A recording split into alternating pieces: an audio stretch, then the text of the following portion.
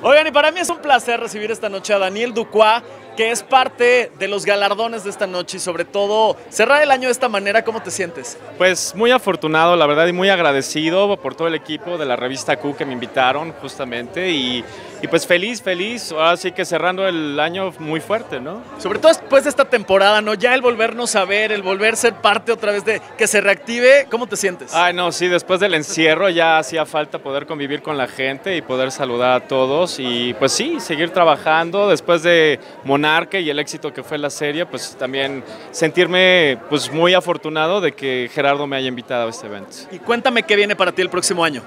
Pues vamos eh, cerrando muy bien, tenemos unos proyectos posiblemente de serie ahí pendientes, este, no puedo decir nada obviamente. Oigan, pero ¿por qué pasan ahí- y nos dicen no puedo decir? Nos tienen que contar, la gente No, saber. porque se quema, se ceba, obviamente, ya sabes, ¿no? Entonces hay que mantenernos ahí, este, y sí, top secret, pero, pero bien, bien, afortunadamente muy contentos y trabajando ahí, este, con, con- con las, con las plataformas y... Que hoy en día es tan importante, ¿no? Y, Está ya que es, cañón. y es necesario.